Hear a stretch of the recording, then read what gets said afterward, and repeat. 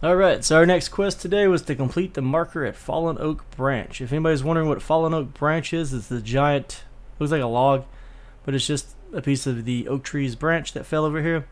You come to the tip top of it on the tallest limb, and then you just build a marker. It's right over here by the paint cans and stuff that we built up on to get to that scab over there. Uh, that's the hedge, you know, of course the oak tree, and then the mysterious machine is right over there. Alright, so we got one more Firefly to kill, then we can get some more quests. We're currently sitting at uh, 4,400 science. So slowly but surely getting things done. Uh, so we've got the pond explored. We still need to open that one chest to get the last BURG.L chip, which is here, flashing on the map. But besides that, as you can see, the map's pretty much fully explored. We've got a couple areas I'd like to go check out. We're going to finish getting the science, doing the unlocks, doing some quests, and that'll probably be the next couple of episodes.